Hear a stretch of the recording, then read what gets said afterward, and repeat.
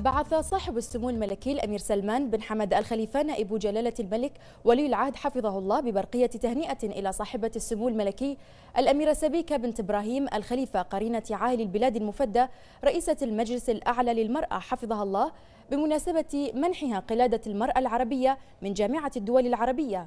وذلك تقديرا لمساهمات سموها الجليلة وجهودها الحثيثة والمؤثرة في دعم الحراك المؤسسي لنهوض المرأة العربية واستمرار تقدمها وفيما يلي نص البرقية.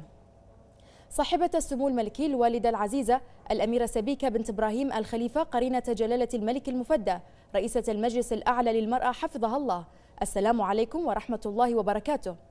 يسرني أن أتقدم إلى سموكم الكريم بخالص التهاني والتبريكات على نيل سموكم تكريم الجامعة العربية بمنحكم قلادة المرأة العربية وذلك تقديرا لجهود سموكم ودعمكم الراسخ الذي توالون بذله لتمكين المرأة وتوجيه الاهتمام البالغ بشؤونها.